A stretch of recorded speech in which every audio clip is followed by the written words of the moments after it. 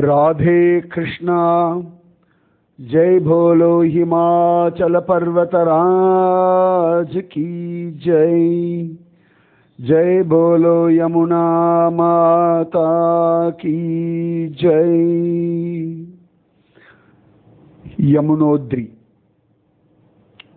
இதுக்கு தான் முதல் முதல்ல ஹிமாலயாஸில் நான் போன ஒரு இடம் நான் நேத்தியே சொல்லிட்டு இருந்தேன் நம்பி சுப்பிரமணியம் போத்தி. அவர் தான் வந்து எங்களை முதல் முதல்ல அழகாக இந்த ஹிமாலய யாத்திரைக்கு அழிச்சுட்டு போனவர். நிஜமாவே என்ன முதல் முதல்ல அழிச்சுட்டு போன பக்தர்னா நான் சொன்னேன் இல்லையா?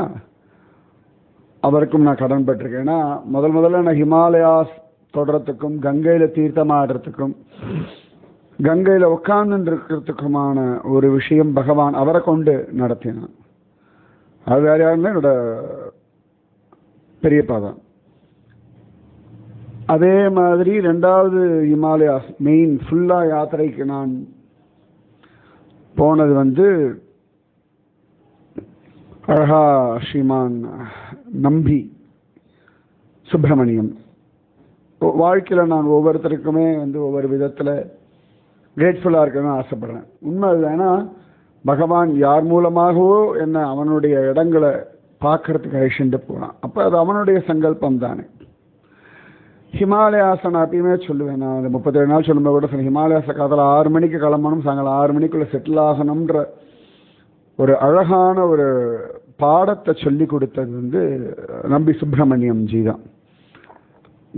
அதனால் அழகாக ராத்திரி ஜானகி சட்டில் தூங்கினோம் விடிய கிளம்புற எழுந்தாச்சு. ஜம்முன்னு எல்லாரும் தயாராயாச்சு. அந்த விடியற் காலம்புற ரொம்ப அழகா இருந்தது. ரொம்ப ஆனந்தமா எழுந்தோம். எல்லாரும் தயாரா இருந்தா நானும் கிளம்பினோம். அப்படி நடக்க ஆரம்பிச்சோம். ஆறு கிலோமீட்டர் அப்படின்னு. அப்ப அதெல்லாம் தோணலை நடக்க முடியுமா முடியாதா? இந்த ஹிமாலயாசம் நடக்கிறோன்ற ஒரு சந்தோஷம். இந்த ஜெர்கின்லாம் போட்டு நல்ல குளிர் இருந்தது. இப்போ ஓரளவுக்கு ஹிமாலயாசனுடைய குளிர் எல்லாம் பழக்கம். இந்த இடத்துல வரைக்கும் குளிர் இருக்காது. இதுக்கப்புறம் தான் குளிர் இருக்கும் அப்படின்னு ஒரு ஜட்ஜ்மெண்ட் எல்லாம் இருக்கு இப்போ. முன்னாடிலாம் அப்படி இல்லை. ஹிமாலயாஸ்னாலே குளிரும் அப்படின்னு ஒரு அபிப்பிராயம் இருந்தது. ஜானகி சட்டி மலை அடிவாரத்தில் இருக்கக்கூடிய ஒரு கிராமம். அதுக்கப்புறம் அது வரைக்கும் தான் வண்டி போகும். அதுக்கப்புறம் யமுனோதிரிக்கு மலையேற்றம் ட்ரெக்கிங் நடைபாதை தான். முதல் முதல்ல அப்படி ஹிமாலயாஸ் அப்படி அந்த வீடுகள்லாம் பார்த்துட்டு ஜானகி சட்டி வீடுகள்லாம் பார்த்துட்டு இப்படி நடந்தோம். நிறைய பேர் முன்னாடி போயிட்டு இருந்தேன் நான் கொஞ்சம் அப்படி பின்னாடி தான் போயிட்டு இருந்தேன். ஏன்னா எனக்கு வந்து அந்த இயற்கை காட்சிகள் அந்த ஹிமாலயம் புஸ்தகத்தில் படித்த ஹிமாலயம். அவ்வளோதான் அதுக்கு மேலே ஹிமாலயத்தை பற்றிலாம் ஒன்றும் தெரியாது. இன்றைக்குமே ஹிமாலயம் பற்றி ஒன்றும் தெரியாது. ஓரளவுக்கு அங்கே இருக்கக்கூடிய சில சில முக்கியமான கோவில்கள் வேணால் தெரியும் ஹிமாலயம் முழுக்க தெரிஞ்சதுலாம் யாராவது சொன்னான்னா ரொம்ப கஷ்டம். முடியாது. ஏன்னா அவ்வளவு பிரம்மாண்டமானது. ஹிமாலயத்தையே நாம் நம்ம பக்கத்துலேருந்து தான் பார்த்துட்டு இருக்கோமே வழியே இன்னொரு பக்கத்தினுடைய ஹிமாலயத்தினுடைய அழகு. ஒருவேளை திபெத் நேபாள் பூட்டான் இந்த பக்கத்துலேருந்துலாம் ஹிமாலயாஸ் நம்ம இன்னும் பார்த்ததில்லை. நான் இந்த பக்கத்துலேருந்து தான் நான் சொல்லிட்டு இருக்கேன். அந்த அழகான இமயமலை தொடர் அப்படி அந்த பச்சையாக நான் வெள்ள வெளியேன்னு இருக்குன்னு எதிர்பார்த்த இமயமலை பச்சையாக இருந்தது. நிறைய அந்த குதிரை எல்லாம் கூட அங்கே இருந்தது. ஆனால் நாங்கள் யாருமே குதிரையில் ஏறலை. யாரும் ரெண்டு மூணு பேர் குதிரையில் ஏறினான்னு நினைக்கிறேன். இல்லாட்டி வரும்பொழுது சில பேர் குதிரையில் வந்தால் மற்றவாலாம் அப்படி நடந்துட்டு இருந்தோம் நம்பிஜி முன்னாடி போயிட்டு இருந்தார் அப்படி அழகாக தாண்டி தாண்டி தாண்டி அப்படியே நடை. சுகமாக இருந்தது அந்த நடை. அது எவ்வளோ நேரத்தில் போய் ரீச் ஆகும் அதெல்லாம் தெரியாது. அப்படி நடந்து ஆனந்தமாக அப்படி போயிட்டு இருந்தேன் அதில் ஃபோட்டோலாம் கூட நான் எடுத்தேன். இப்போ அந்த ஃபோட்டோலாம் என்கிட்ட இல்லை. அது ஏதோ இதுவாக எடுத்து நினைக்கிறேன். ரெண்டாயிரத்தி பதினஞ்சில் போன யமுனோத்ரியோடைய பதினாலோ பதினஞ்சோ நாங்கள் போனோம். அப்போ இப்படி அழகாக நடந்துண்டு இந்த மலையை ரசிச்சுண்டு அப்படியே கீழே அந்த யமுனை ஓடி வர அழகை பார்த்தோன்னா குஷியாக இருந்தேன்னா யமுனை வந்து பூமியில் கீழே வர வர வர வர அவரோட கலர் மாறி போயிடும். அதுவும் டெல்லி பிருந்தாவனெல்லாம் வரும்பொழுது அவரோட கலர் கிருஷ்ணனோட கலரில் மாறி போயிடும். கருப்பாக ஆயிடுவா. கிருஷ்ணான்ற பேர்லேயே ஆயிடுவா அவள். ஆனா இந்த இடத்துல நல்லா வந்து அந்த அந்த அக்வா ப்ளூ இல்லாட்டி அக்வா கிரீன் அந்த தண்ணீர் எல்லாம் பார்த்துட்டு அப்படி நடந்தோம் அழகாக அங்கங்க பார்த்துண்டு உக்காந்துண்டு பேசிண்டு. சில சமயங்கள்ல அந்த கேங் அப்பப்போ மாறிண்டே பிரிஞ்சு பிரிஞ்சு போவோம். சில பேர் முன்னாடி போவா சில பேர் பின்னாடி வருவா சில பேர் நடுவில் நடந்துருப்பா. ரொம்ப ஆனந்தமாக இருந்தது. அந்த யமுனோத்ரி ட்ரக் எவ்வளோ நேரம்லாம் டைம்லாம் பார்க்கல. அப்படியே நடந்துட்டு இருந்தோம். அழகாக நடந்து நடந்து நடந்து நடந்து ஒரு எனக்கு தெரிஞ்சு ஒரு மூணு மணி நேரமோ நாலு மணி நேரமோ நடந்திருப்போம்னு நினைக்கிறேன் நான் யமுனோத்ரிக்கு அப்போல்லாம் பெருசாக ட்ரெக்கிங் மலையேற்றம் இதெல்லாம் தெரியாது. அப்படியே நடக்க ஆரம்பிச்சிட்டோம் அவ்வளோ வேறு ஆப்ஷன் கிடையாது. யமுனோத்ரிக்கு வந்து இன்னி வரைக்கும் ஆப்ஷனே கிடையாது நடந்து போகிறது. தான் இப்போ கூட சமீபத்தில் எங்கள் அம்மா சொன்னாடே சாரதாம் போகும்போது நரேஷன் போடா அப்படின்னா. அதுக்கப்புறம் ரெண்டாவது வரையும் நான் போயிருக்கேன் சாரதாமில் அம்மா சொன்ன அது வேறு இந்த யமுனோதிரியை தவிர மற்ற மூணுத்துக்கும் நான் வரேன். இந்த கங்கோதிரி பத்ரி கேதார்லாம் நான் வரேன் அப்படின்னு. ஏன்னா இதுக்கெல்லாம் வாசல் வரைக்கும் வண்டி போயிடும். ஒரு கிலோமீட்டர் கணக்கில் நடக்க வேண்டாம். கேதாருக்கும் வந்து நடக்கணும்னு நினச்சா பதினாலு பதினாறு கிலோமீட்டர் ஆகும். ஆனால் ஹெலிகாப்டரில் போயிடுறதுனால வந்து பெருசாக நடக்க வேண்டிய அவசியம் இல்லை. பத்ரிநாத்லாம் நம்ம தங்குற இடத்துலேருந்து கோவிலுக்கு நடந்தால் போதும். கங்கோத்ரி அப்படிதான். பஸ்லேருந்து கோவிலுக்கு நடக்கிற தூரம் தான் மார்க்கெட்டுக்குள்ளே அப்படி நடந்தால் போதும். யமுனோதிரி தான் இந்த சா சோட்டா சார்தாமில் ஏழு எட்டு கிலோமீட்டர் நடக்க வேண்டியதான ஒரு தூரம் உடையது யமுனோதிரி மட்டும்தான். அங்கே வந்து ஒன்று குதிரையில் போகலாம். இந்த கோவேறு கழுதை ஆக்சுவலாக குதிரை கிடையாது. கோவேறு கழுதை மியூல்னு சொல்லுவா இல்லையா இங்கிலீஷில் எம்யூஎல்இ அதில் போகலாம். இல்லைன்னா டோலி நம்ம ஒரு சேர் மாதிரி இருக்கும் அதில் உட்காந்துனோம்னா நாலு பேர் நம்மளை அழகாக தூக்கிட்டு போவா. அப்புறமா சமயத்தில் வந்து அந்த ஒரு மோடா மாதிரி இருக்கும். ஒரே ஆள் பின்னாடி உட்காந்து ஒருத்தர் தூக்கிட்டு போவார் அந்த மாதிரியும் உண்டு. ஸோ அதெல்லாம் அப்படி பார்த்துன்னு அதெல்லாம் அதிசயமாக இருந்தது. ஏன்னா அதெல்லாம் நம்ம ஊரில் பார்த்தது கிடையாது. அப்போ கூட நான் ஏறும்பொழுது பார்த்தேன் யாரோ மிலிட்ரி ஆஃபீஸர் யாரோ அந்த யமுனோதிரி போகிறார் ஸோ அந்த மிலிட்ரி மேன் தூக்கிட்டு போனான். அப்போ கூட அதை கூட ஒரு மார்ச் பாஸ்ட் மாதிரி ஒரே ஈக்குவலாக போனால் போனான் ரொம்ப ஆச்சரியமாக இருந்தது எனக்கு. ஸோ இதெல்லாம் பார்த்துண்டு அந்த யமுனை கொஞ்சம் கொஞ்சமாக கொஞ்சம் கொஞ்சமாக அந்த ஹைட்டில் போக போக ரொம்ப அழகாக இருந்தது. அந்த அந்த வியூ எல்லாம் வந்து நான் வர்ணிக்கவே முடியாது என்னால். நிச்சயமாக நான் சொல்கிறேன் நீங்கள் நடந்தாதான் அதை பார்க்க முடியும். நான் ரெண்டாயிரத்தி அந்த அந்த பதினாலு பதினஞ்சில் எடுத்த வீடியோ இல்லை ஆனால் பதினெட்டில் நான் போயிட்டு வந்த வீடியோ இருக்குது ரொம்ப அழகாக இருக்கும். இப்படி நடந்து நடந்து நடந்து நடந்து. ஒரு ஸ்திதிக்கு அப்புறமா தான் அந்த யமுனோதிரி கோவிலே தெரியும். அது வரைக்கும் அந்த யமுனோதிரி கோவில் தெரியாது. அப்போ அழகாக அந்த யமுனோதிரி கோவில்லாம் பார்த்துட்டு ஒரே குஷி. அங்கே போனால் அங்கே அப்படியே அந்த உள்ள நுழையும் பொழுதே நிறைய சுட சுட அந்த பஜ்ஜி இதெல்லாம் வித்துருப்பா அது வாசனையே பசிக்க ஆரம்பிச்சு நமக்கு அவ்வளோ தூரம் நடந்திருக்கோம் வேற இல்லையா?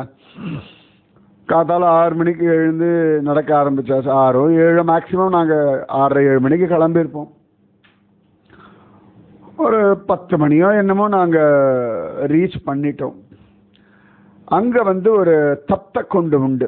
வெந்நீர் ஊற்று ஹாட் ஸ்ப்ரிங்ஸ் கொதிக்க கொதிக்க. அதாவது அதில் அப்படி இருக்கும்.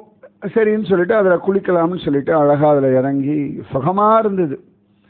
அவ்வளோ தூரம் நடந்ததுக்கு வந்து அந்த தப்த குண்டத்தில் இறங்கி குளிக்கிற சுகமே தனி. அதுக்காகவே முன்னாடி ட்ரெஸ் எல்லாம் எடுத்துட்டு போய் அவர் சொல்லியிருந்தார் நம்பி. இங்கே போனால் குளிக்கலாம் அப்படின்லாம் சொன்னார். எடுத்துட்டு போனோம். நல்ல ஒரு குளியல்.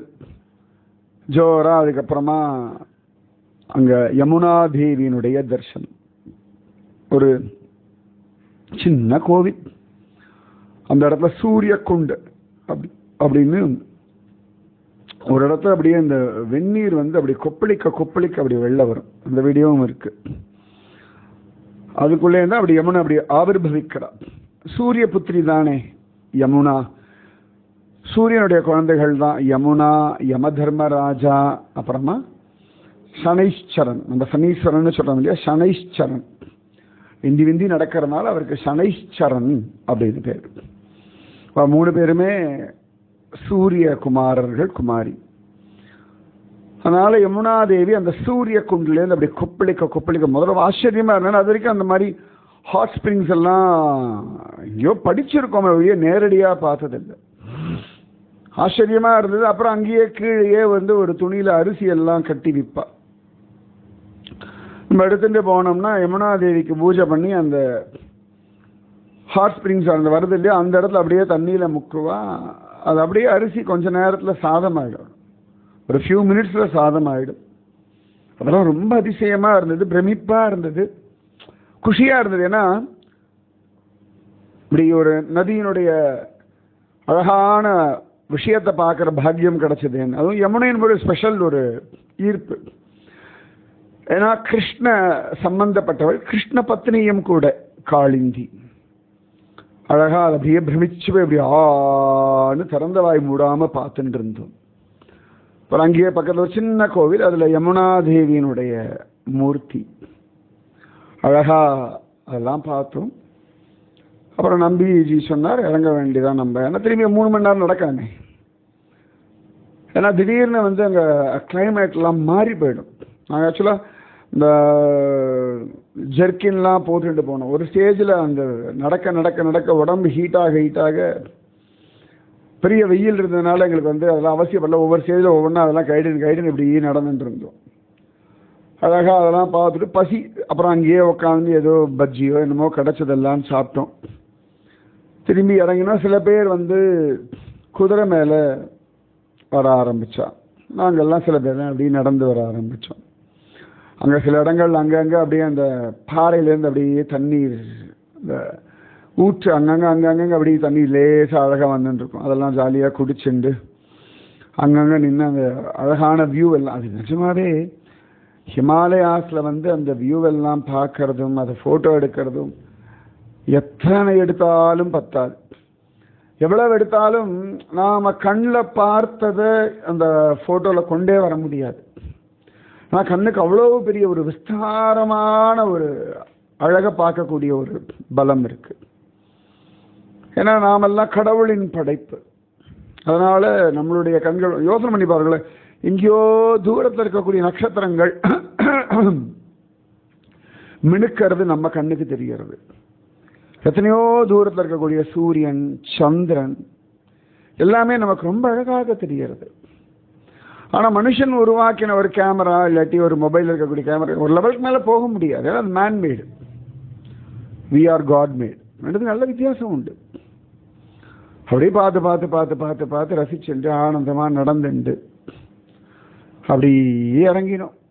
சில பேர் முன்னாடி வந்தால் சில பேர் குதிரையில் ஏறினா சில பேருக்கு அந்த குதிரையில் ரிட்டர்ன் வரும்போது குதிரையில் ஏறும்போது சில பேர் ரொம்ப கஷ்டமாக இருந்தது. ஏன்னா அந்த குதிரை வந்து அந்த டிப்பில் போய் இப்படி திரும்பும். அதாவது அந்த சின்ன ஒரு கைப்பிடி கம்பி மாதிரி வச்சுருப்பா அவன் நடக்கும் பொழுது பெருசாக தெரியாது. ஏன்னா நம்ம இடுப்பளவுக்கு அந்த கம்பி இருக்கும். இந்த பேரசட் வால் அந்த ஹேண்ட் ரயில் மாதிரி வச்சிருப்பா கைப்பிடி வச்சுட்டு ஸோ நடக்கும்போது நமக்கு ஒன்றும் பெரிய பயமோ எதுவுமே வராது. அதே குதிரை மேலே போனோம் வச்சுக்கோங்களேன். என்ன ஆகும் அப்படின்னா குதிரை அந்த கம்பியை விட ஒசரத்தில் இருக்கும். அந்த குதிரைக்கு மேலே நாம் உட்காந்துட்டு இருப்போம். அந்த டிப்பில் போய் குதிரை அப்படி திரும்பும் பொழுது எப்பா அது நிஜமாவே அதுக்கு ஒரு தைரியம் வேணும். அதில் வேற அவன் சொல்லிகிட்டே இருப்பான் சாயாத நேரம் உட்காரு. நமக்கு குதிரையே அப்ப ஏறி தான் பழக்கம். இதில் வேற முன்னாடி சாயாது அது அது முன்னாடி போகும்பொழுது நீ பின்னாடி போகணுவான் அது மேலே ஏறும்பொழுது நீ கிரிப்பாக பிடிச்சிக்கோணுவான் அதில் யமுனோதிரியில் ஏறும்போது சில இடங்களில் பாறை வந்து கொஞ்சம் நெருக்கமாக இருக்கும் தலையெல்லாம் குனிஞ்சுட்டு போகணும். விட்டு தலையை தட்டும் பாறை.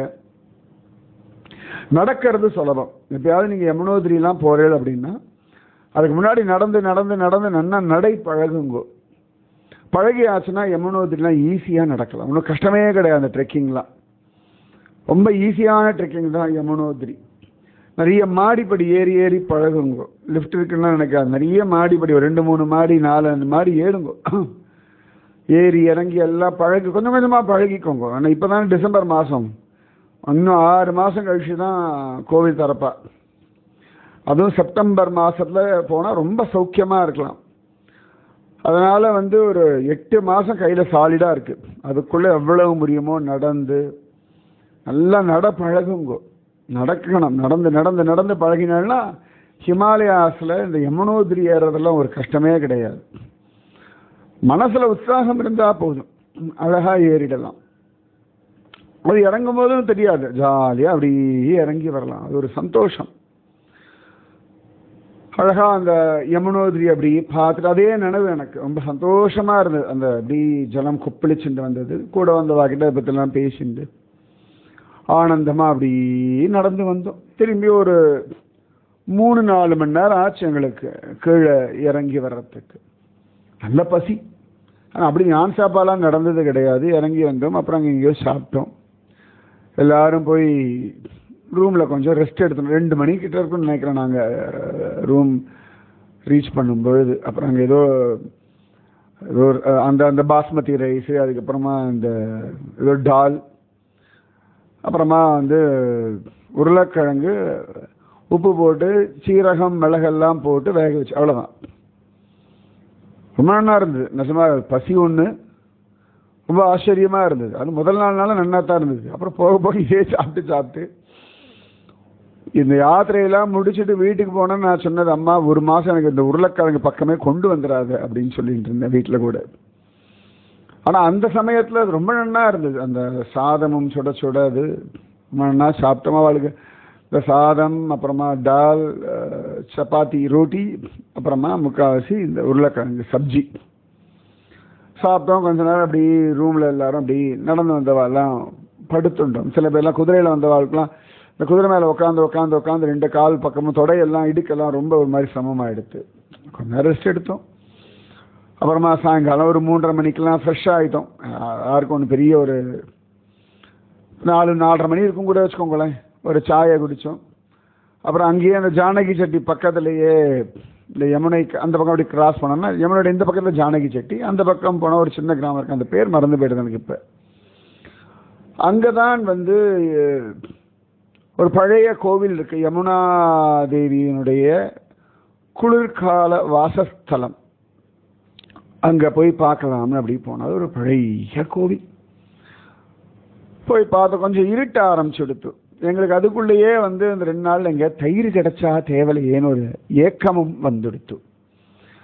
அது மேலெல்லாம் ஏறி பார்த்தோம். அங்கே ஒரு ரெண்டு பாத்திரம் பெரிய பாத்திரம் இருக்குது அவ சொன்னால் இது வந்து ஒவ்வொரு அமாவாசைக்கும் இது தானாக மாறும். இந்த இடத்துல இது மாறும் அந்த இடத்துல அது மாறும்னா.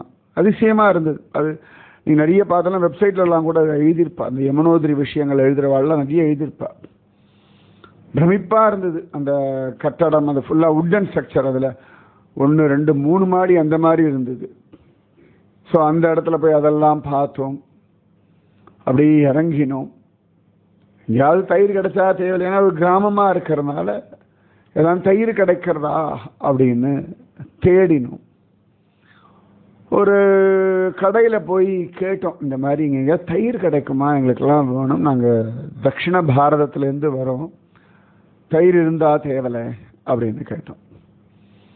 அப்போ தியவா பார்த்தா நாங்கள் இங்கே தயிர்லாம் விற்கிறது கிடையாது அப்படின்னா.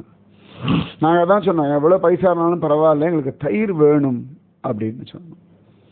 இங்கே தயிர் நாங்கள் விற்கிறதே கிடையாது. எங்களுடைய தேவைக்கு தான் வச்சுட்டு அப்படின்னு. கொஞ்சமாவது கிடைச்சாலும் பரவாயில்ல. சரி மோராக பண்ணி அதை சாப்பிட்டுக்கலாம் அப்படின்னு ஒரு கடையில் தான் நின்று நானும் இந்த நம்பி சுவாமிஜிலாம் கேட்டுட்டு இருந்தோம் அதுக்கப்புறமா அவர் வந்து ஹா சரி தரேன் அப்படின்னு சொல்லிட்டு ஒரு பெரிய ஒரு பிளாஸ்டிக் கண்டெய்னர் அட்லீஸ்ட் எனக்கு தெரிஞ்சு அது ஒரு மூணு நாலு லிட்டராவது இருக்கணும் குறைஞ்சபட்சம். அவ்வளவு தயிர் நல்ல கட்டி தயிர். பார்த்தோன்னு அப்படியே கண்கள் ஆனந்த கண்ணீரே வந்தது எல்லாருக்கும் தயிரை பார்த்தோன்னு. பைசா கொடுத்தா வாங்கிக்கவே மாட்டேன்னு சொல்லிட்டார். எவ்வளவோ கெஞ்சினோம். இல்லவே இல்லை. நீங்கள் ஊருக்கு வந்திருக்க விருந்தாளியாக நாங்கள் கொடுக்குறோம். பைசாக்கு நாங்கள் தயிர் தரமாட்டோம்னு. ஒத்த காலம் இல்லை நாங்கள் எவ்வளவோலாம் ட்ரை பண்ணி பார்த்தோம். இவ்வளோ தயிர் கொடுத்துருக்கீங்க கொஞ்சம் நாளும் பரவாயில்ல.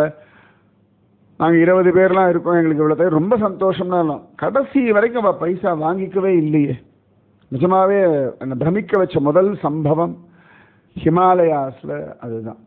எதிர்பார்க்கவே இல்லை அது. அவ்வளோ லிட்டர் தயிரை கொடுத்துட்டு பைசா வாங்காமல் யார் இருப்பா? எதுவும் இந்த மாதிரி டூரிஸ்ட் வரும்பொழுது தான் அவளுக்கு வந்து வியாபாரம் பைசா எல்லாமே. இல்லாட்டி அவள் அந்த கிராமத்தில் ஏதோ விளைவிக்கக்கூடிய காய்கள் அதை வச்சுன்னு ஒரு வாழ்க்கை வாழ அவ அவளுக்குன்னு மாடுகள்லாம் உண்டு. அப்போ கூட நாங்கள் கேட்டோம் இல்லை குளிர்காலத்தை என்ன பண்ண ஊரை விட்டு போயிடல இல்லை இங்கேயே தான் இருப்போம். இங்கே பனியெல்லாம் விழும். யாரும் வெளியில் வர மாட்டோம் ஆறு மாதம் வீட்டுக்குள்ளேயே இருப்போம். ஒரு வீடு கூட நாங்கள் போய் பார்த்தோம். அது கீழ்தளத்தில் வந்து மாடுகள்லாம் கட்டி வச்சுருவாளாம் குளிர்காலத்தில். அது கூட வெளில அனுப்ப மாட்டாளாம். மாடி வந்து முதல் தளத்தில் தான் அவள் குடும்பத்தோடு இருப்பாள் ஆறு மாதம் யாரோ சில பேர் வெளியில் வேலைக்கு போவாள் மற்றவெல்லாம் அங்கேயே இருப்பாள் அந்த ஆறு மாதம் பண்ண விவசாயம். அதில் கிடைக்கக்கூடிய உருளைக்கள் இந்த காய்கறிலாம் பத்திரப்படுத்தி வச்சுக்கிறா. அவளுக்கு என்ன? ரோட்டி உருளைக்கிழங்கு இருந்தால் போதும். அப்புறமா அரிசி சாதம் கொஞ்சம் கொஞ்சம். அவ்வளோதான் தயிர் பால் மோருக்கு அவளோட மாடு இருக்கும். அந்த மாட்டுக்கெல்லாம் கூட வெந்நீர் விட்டு தான் அந்த தவிடு புண்ணாக்கெல்லாம் கரைப்போம் அப்படின்னு சொல்லிட்டு இருந்தா. அதிசயமாக இருந்தது. அதெல்லாம் பார்த்தோம். தயிர் கிடச்ச ஒரே குஷி. அப்புறம் ராத்திரி வந்தோம் அப்புறம் சாதம் வச்சு கொடுத்தா டால் ஏதோ வச்சு கொடுத்தா. உடனே தயிர் போட்டு கடை கடை நின்னா சாப்பிட்டேன் தயிர் மீதி தயிர் பத்திரப்படுத்தி வச்சுருப்பேன் நாளைக்கெல்லாம் தயிர் கிடைக்கல நான் என்ன பண்ணுறது ரொம்ப சந்தோஷமா அந்த யமுனோதிரி ஏறி இறங்கின ஒரு திருப்தி. இந்த கிராமத்தில் போய் பார்த்த திருப்தி. தயிர் கிடைச்ச திருப்தி முக்கியமாக அழகா சரி இப்போ இன்னும் கொஞ்சம் யமுனோதிரி ரொம்ப பிடிச்சு போச்சு. முதல் நாள் வந்தபோது அந்த ரூம் தங்கறதுக்கு பெரிய கம்ஃபர்ட் இல்லை அவ்வளோ இதுவாக இல்லை. ஆனால் ரெண்டாவது நாள் சரி இதான வேறு வழி கிடையாதுன்னு ஏற்றுன்னுட்டோம் மனசில். அதாவது இது தவிர வேறு ஒன்றும் கதி இல்லைன்னா அந்த குளிருக்கு ஏதோ ரூம் கிடச்சிது போதும் அப்படின்னு தங்கிடுவோம். ஸோ அடுத்த நாள் காலையில் யமுனோதிரிலிருந்து கங்கோதிரிக்கு நாங்கள் கிளம்புறோம். ஸோ நாளைக்கு கங்கோதிரி போகலாம் சரியா? இன்னைக்கு யமுனோதிரியில் ஆனந்தமாக ஒரு தூக்கம். அது மனசு முழுக்க இன்னும் கூட அப்படியே பசுமையாக இருக்கு எனக்கு. அந்த ரெண்டாயிரத்தி பதினஞ்சில் நடந்த பார்த்த விஷயங்கள். அப்படியே நான் முதல் முதல்ல அந்த ஹிமாலயாஸை பார்த்து ஹிமாலயாஸ் அப்படியே என் கால் படம் நான் நடந்த அந்த தருணங்கள்லாம் அது ஒரு தனி அது ஒரு தனி சுகம் அவ்வளோதான் வாழ்க்கையில் பசுமை மாறா நினைவுகள் அந்த யமுனோதிரி ட்ரெக்கிங் ஸோ நீங்களும் ரெடி ஆகுங்கோ யமுனோதிரி. அதுக்கப்புறம் நான் ஒரு தடவை ரெண்டு தடவை தான் போயிருக்கேன். என்னுடைய ஏழு தடவை போனாலும் சார்தாம்னு பார்த்தா ரெண்டு தடவையோ மூணு தடவையோ தான் நான் போயிருக்கேன். மற்ற எல்லா சந்தர்ப்பத்திலையுமே வந்து மற்றது தான் கேதார் பத்ரி அது ரெண்டு தான் எல்லா வாட்டியும் போகிறது. ஸோ அழகான அந்த யமுனோத்ரி. இதெல்லாம் நிச்சயமாக நீங்கள் பார்க்கணும். அந்த யமுனா தேவியாக இருக்கட்டும் இப்போ கூட ஆசை இருக்குது இந்த யமுனா தேவி இப்போ கீழே இறங்கியாச்சு. நான் சொன்னேன் இல்லையா ஜானகி செட்டி பக்கத்தில் இருக்கக்கூடிய அந்த கிராமம்னு. அந்த கிராமத்தில் போய் பார்க்கணும். இப்போ யமுனா தேவியினுடைய உற்சவ மூர்த்தி கீழே வந்திருக்கும் அதுவும் முக்கால்வாசி தீபாவளி சமயத்தில் இந்த பாய் தூஜ் அப்படின்னு சொல்லுவாள் யமத்விதியை. அந்த சமயத்தில் அவள் கீழே இறங்கி வந்துடுவாள் அதாவது அண்ணா வீட்டுக்கு வர ஆள் அப்படின்ற ஒரு பாவம் அங்கே இருக்கிறவாளுக்கெல்லாம் அதனால் இப்போ போய் அங்கே போய் பார்க்கணும். அண்ணா வீட்டில் போய் யமுனா தேவியை பார்க்கணும்னு ஒரு ஆசை. எவ்வளோ தூரம் அங்கே பனி கொட்டியிருக்குன்னு பார்க்கணும்னு ஆசை. பார்க்கலாம். ரொம்ப நாள் ஆயாச்சு நான் யமுனோத்ரி போய் இப்போ கடைசியாக போனேன். எனக்கு இப்போ ஞாபகம் இல்லை. ரெண்டாயிரத்தி பதினெட்டு நினைக்கிறேன். கடைசியாக நான் யமுனோத்ரி போனது. ஸோ போகணும். அடுத்த வருஷம் சாரதான் போயிட்டு வந்துடணும். ஸோ யமுனோத்ரி அழகான ஒரு ஸ்தலம். போகலாம் வாங்க நீங்களும் ராதே கிருஷ்ணா. ஜெய் போலோ யமுனா மாதா கி ஜெய். जय भोलो हिमाचल पर्वत राज की जय। राधे कृष्णा।